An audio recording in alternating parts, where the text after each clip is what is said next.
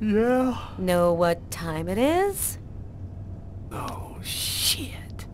Get a move on. The waitress is coming this morning to flesh out the composite on the killer.